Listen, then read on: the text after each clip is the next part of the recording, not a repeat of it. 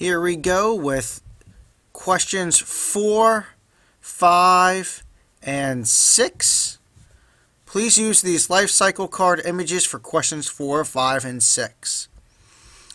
Which picture shows the oldest plant? Select your drop down box and choose image 1, 2, 3, or 4. Again, which picture shows the oldest plant? 1, 2, 3, or 4. Question 5. Which picture shows seed pods?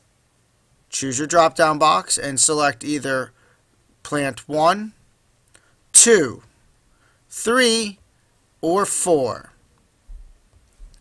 Again, which picture shows seed pods? Picture 1, 2, 3, or 4. And question 6. Which picture shows the youngest plant? Is it picture one, two, three, or 4? Question 6. Which picture shows the youngest plant? One, two, three, or 4?